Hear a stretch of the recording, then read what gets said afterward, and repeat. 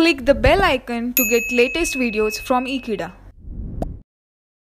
Hello friends, in this video we are going to see one more problem which is based on how to find the equation or the solution for a given differential equation using variable separable method. So let us start with problem number 2.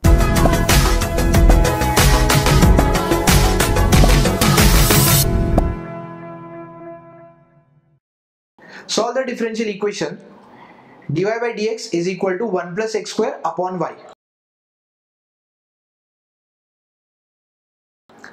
Before separating the variable, first you should make sure that both dy and dx are present in the numerator. Here you can see dx is present in the denominator. So let us transfer dx on the right hand side.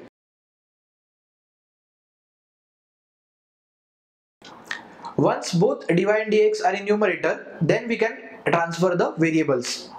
So we have dy on the left hand side, with that y will be multiplied. As you can see now, we have separated the variables. The next step will be integrating on both sides.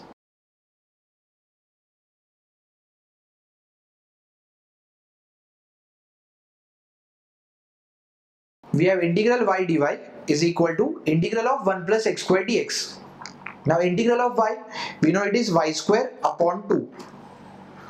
On the right hand side, integral of 1 dx will give you x plus integral of x square will give you x cube upon 3 plus c. This is our general solution. I hope friends you have understood this problem. Thank you for watching this video. Stay tuned with Ekeeda and subscribe to Ekeeda.